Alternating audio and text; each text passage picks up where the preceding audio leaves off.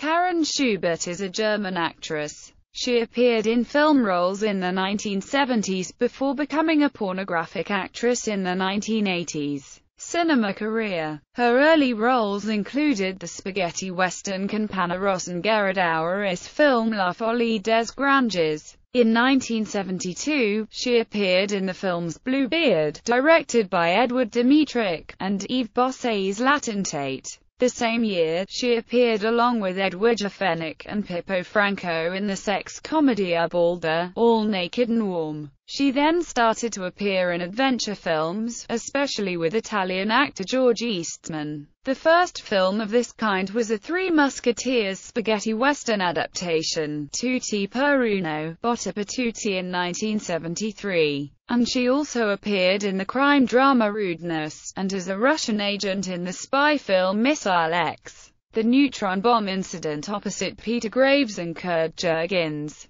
In 1975 she appeared in the hit film Black Emanuelle starring Laura Gemser which drew the attention of director Joe D'Amato, and began to take part in his erotic films, including Emanuelle Around the World in 1977 where she played Cora Norman, the counterpart of Gemser.